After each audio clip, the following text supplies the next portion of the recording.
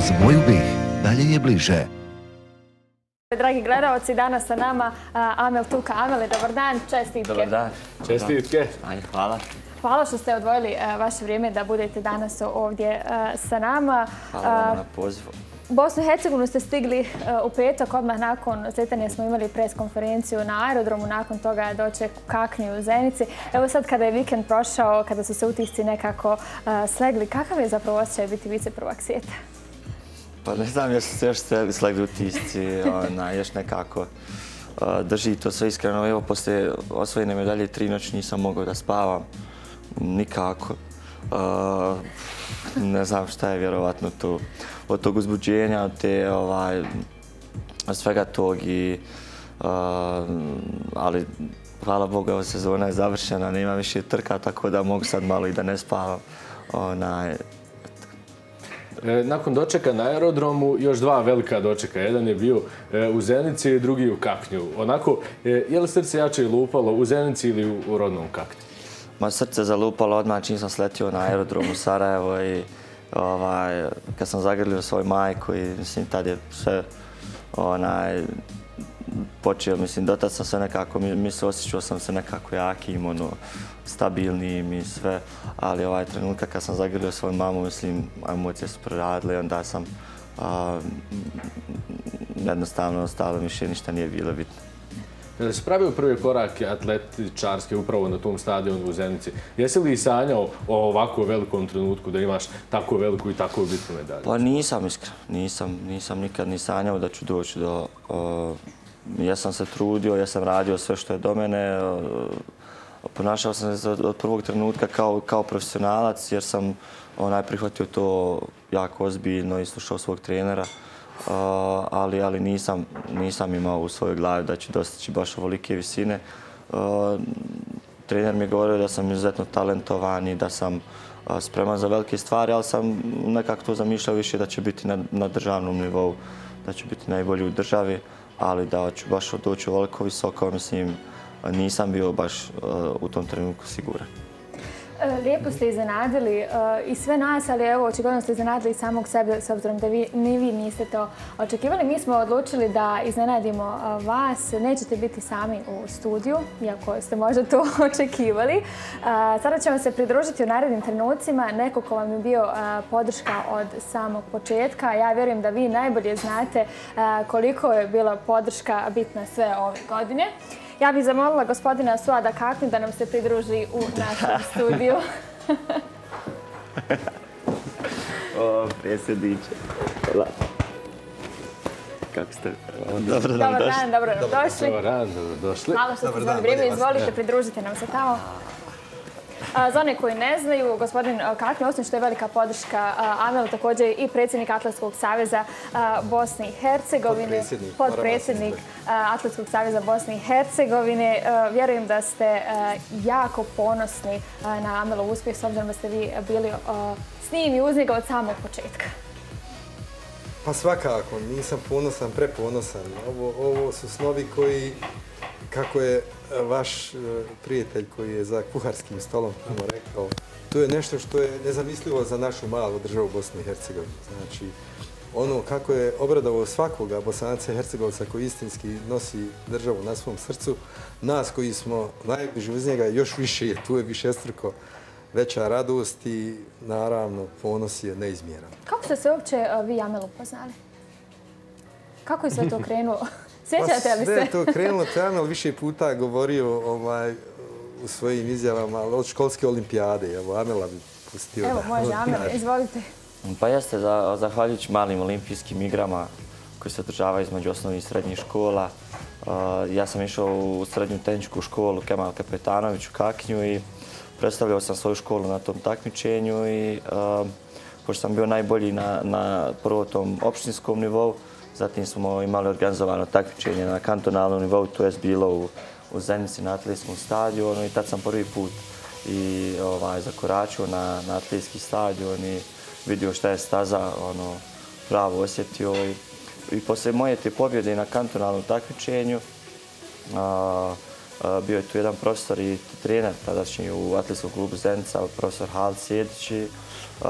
Pošto je on bio stručnjak za srednje pruge, nekako meni prepoznao to nešto, pošto sam bio uvijek onako malo mršavi ovaj, te građe, baš onaj e, atletičara. E, tako prišao mi je i ispitao odakle sam i onda, pošto sam ja karate trenirao prije, njemu malo bilo jasno na početku ali ovaj, e, tako ostali smo u kontaktu da bi e, baš evo e, 1. Januara 2009. godine sam došao sa svojim ocem u, u atletski klub Zenicu gdje me dočekao prijesednik ovaj, gospodin Kaknjo i tadašnji moj trener e, profesor Hald. E, baš naš četvorca smo sjedli. Sjećam se koji učer da je bilo ovaj, u prostorijama e, stadiona Kamberovića polje, gdje smo eto, od, od, od tog dana počeli da, da, da zajedno surađujemo. Imao sam podršku tih ljudi od početka. Znali su, najviše su prepoznali, baš gospodin Kaknjev i moj trener Hald, uh, su znali da sam rođen za, uh, da sam uh, posjetim da je neki poseban talent za, za, za te srednje pruge i istrajali su bilo je tu, tu ovaj, svega, naravno, dok se ne probije to vrijeme, rezultat je trebalo istrpljenja i ovaj, ali, ali najbitna je bila ta podrška, ta vjera da ću jednog dana napraviti uh, nešto, uh, a ne za ono, niko nije stvarao pritisak na mene da moram da odmah nešto napravim, nego znali smo svi zajedno da nam treba određeno vrijeme, određen staž u atletici kako bi kako bi pravio velike rezultate. Je li bilo trenutaka u kojima si mislio da ćeš morati početi se baviti drugim stvarima od kojih ćeš zarađivati za život, tada je atletika ipak lijepa stvar od koje se mora odustati? Pa jeste, jeste iskreno. To je bila nekako prijelaz. E, to je bila 2013. godina. E, to je nekako bila ta prekretnica.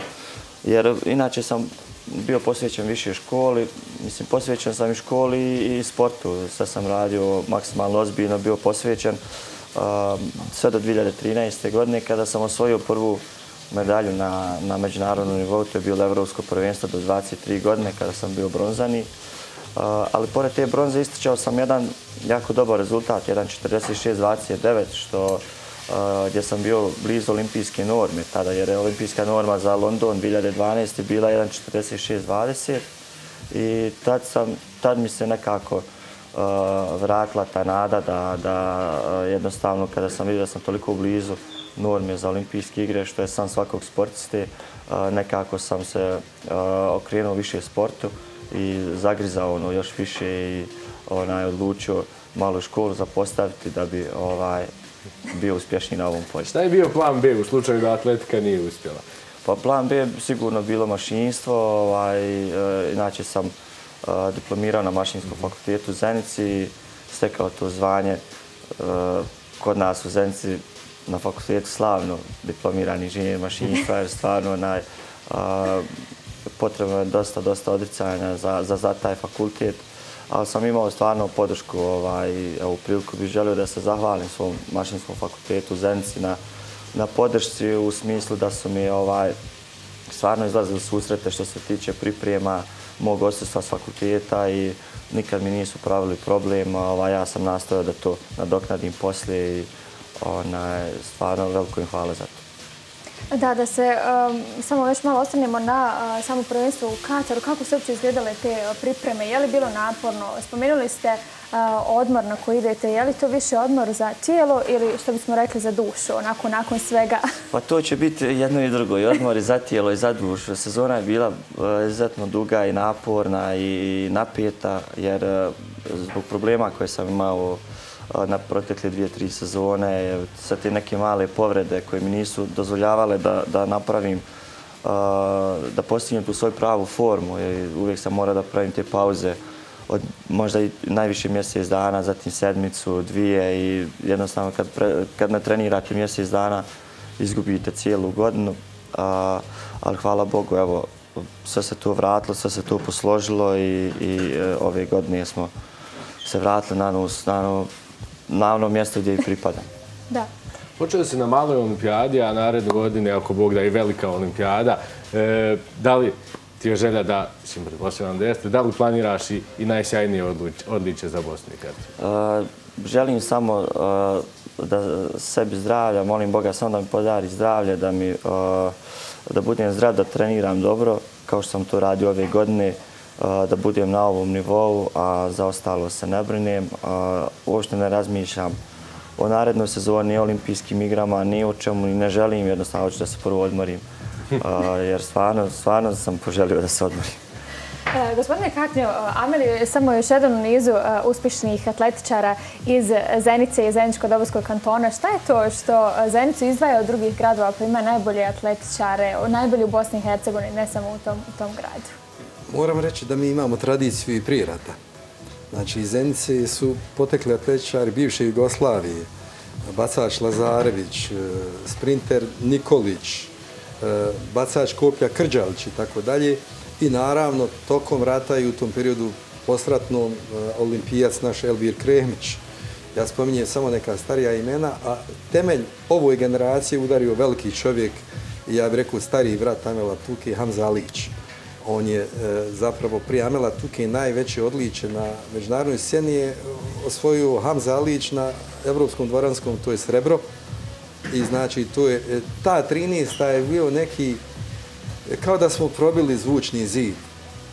Ta, to, tu je krenuo zlatni hod. Te 2013. Amel, ja mislim da, da si tad osvojio ovu brončanu da, da. na U23. Hamza je u prvo osvojio srebranu na Evropskom dvoranskom prvenstvu, Mesut Pezir je juniorsku zlatnu na Evropskom prvenstvu i naravno tad je krenulo i e, evo možda će nešto više reći Amel Tuka. E, I Hamza je tu svojim izjavama rekao da je poseban dar za nas, sve Bosanci i Hercegovice, naročito za nas u atletskom klubu Zemca, da, je, da, da, da se uopšte rodio i da se pojavio na atletskoj sceni čovjek poput Amela Tuki. Ja namjerno ovaj put kažem čovjek, prije svega čovjek. Ja ću napraviti malu digresiju na ovo. Ja sam onako bio mrša, viržljav, znači Ameli, pored svega skroman. Ne, mi smo prepoznali njegov korak. To je fantastičan korak. O tom koraku smo prvi tri, četiri godine, Amel, tu kad ja pričal, više i ne pričam, on se podrazumijeva. Znači, on je, on je imao, osim ti, ti prirodnih predispozicija i talenta, i za toga ide čitava plejada mladih atlečara. Evo, ja sam baš u, u pauzi dok sam čekao ovu emisiju rekao, mi imamo jednog izvrsnog Bedna Mujezinovića, što je prije 7-8 godina izvanredan rezultat bio 1.46-20, međutim, Amel je očeo toliko daleko da ti neki evropski nivoji ostaju negdje u sjeni. I hvala Bogu da imamo, i imamo, sad imamo i Majda Ređića koji već sa 2.20 prijeti, prijeti Evropi, znači on je mlađi senior i mislimo da je to momak prvi i sljedeći koji se penje na tu evropsku scenu. U svakom slučaju, sad je taj novi kostur, pošto je Hamza Alić nekako pred penzijom, sad je Amel taj, uh, uh, ta baklja koju slijedi mladi atlečari u, u Zenici. Hvala vam puno što ste danas e, bili naši gosti. Sretno e, na odmoru prije svega i, i, i sretno na olimpijadi. Hvala vam. I na vjenčanju. I na vjenčanju svakako 12. oktobar, tako da upitno je hoće li biti odmor, ali eto, poslije 12. oktobra zasigurno. Zasigurno, poslije 12. Mnogo sreće i uspjeha i na svim poslovnim, ali i na privatnim planovima. Hvala vam što ste izvojili vaše vrijeme da budete naši gosti. Hvala vam. Hvala vam.